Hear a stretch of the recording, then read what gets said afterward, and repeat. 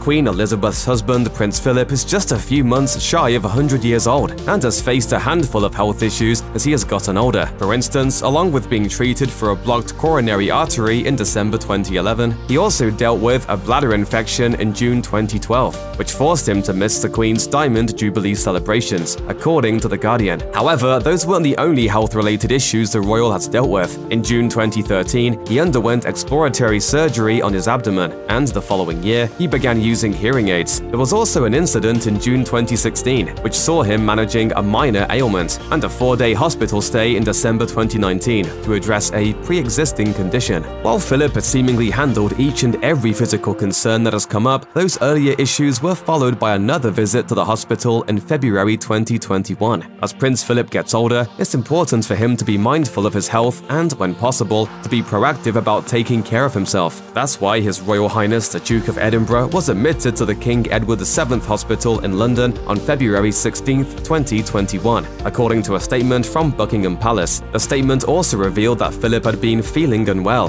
which is why his doctor visited him at Windsor Castle before urging him to head to the hospital as a precautionary measure. A source also told The Guardian that the illness was not COVID-related and the stay in hospital was purely precautionary. In fact, the Daily Mail noted that it is understood the decision to admit him was taken with an abundance of caution, and the royal is said to be in good spirits. As it was not an emergency admission, Philip reportedly went to the hospital in a car and walked into the hospital unaided, per The Guardian. Apparently, the Duke is expected to remain in hospital for a few days of observation and rest, while the Queen is staying back at Windsor Castle, where she's surely hoping that her husband will join her soon when he's feeling a little bit better. When news surfaced in February 2021 that Prince Philip had been hospitalized, many people may have wondered if the royal had contracted COVID-19, a diagnosis that his son Prince Charles also faced. That was understandably a concern because not only can the illness be serious for people of all ages, but according to the Centers for Disease Control and Prevention, the risk for severe illness with COVID-19 increases with age, with older adults at highest risk. However, when it comes to Prince Philip, a source told The Guardian that Prince Philip's illness had nothing to do with the virus. The royal also did something specific to protect himself from the sickness, as both Queen Elizabeth and Prince Philip got COVID-19 vaccines, something that made William very proud.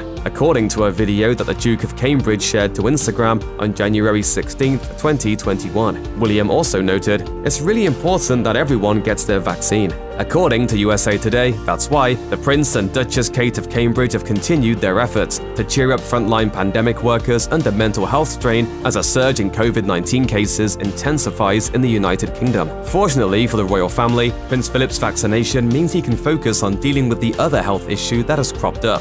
Prince Philip has lived a long life, so some might be wondering whether he has any health tips worth sharing. Camilla Parker Bowles, aka the Duchess of Cornwall, shed some light on this subject during a July 2020 interview on BBC Radio 5's The Emma Barnett Show. She said of her father-in-law, He is probably the fittest man of his age I know. He'll walk and walk and walk. He's like a mountain goat. He leaves everybody miles behind. As for the prince's eating habits, Queen Elizabeth's former chef Darren McGrady revealed to CNN that Prince Philip is sort of into healthy eating, but when it comes to organic food, he supposedly draws the line. McGrady shared a funny anecdote recalling how one Christmas, Prince Philip came into the royal kitchen in search of holiday treats from Harrods, a high-end department store. When he accidentally stumbled upon a bin of healthy treats sent for Prince Charles, as he supposedly prefers organic food, the elder royal slammed the lid down and scoffed, it's bloody organic, as McGrady claimed. Food preferences aside, it sounds like Prince Philip prioritizes his health. Here's to hoping he makes a speedy recovery.